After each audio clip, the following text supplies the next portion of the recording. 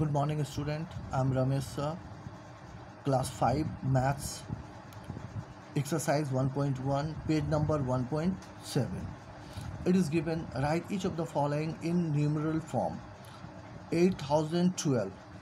You write 8 just at the place of 1000 and then write 12. 100 is not given. For just at the place of 100, you write 0 and 1, 2.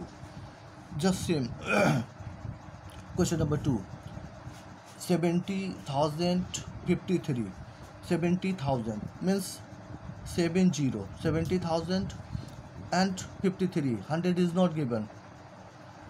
Write 0 5 3 as same you do 3 4 5 6 7 8 question number 2 it is given 42 comma 007 you have to write the indian system of numeration.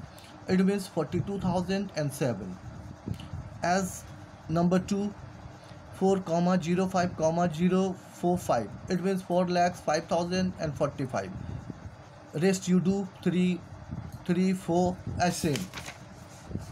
5 6 7 question number 3 insert the comma in the correct position. Here it is given 4375 it means 1 2 3 just after 3 put a comma. It means 4375 at same. Question number 2 8 2 2 4 7 9 8 just after 3 right side.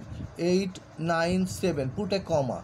It means 24798 as same you do the rest. Thank you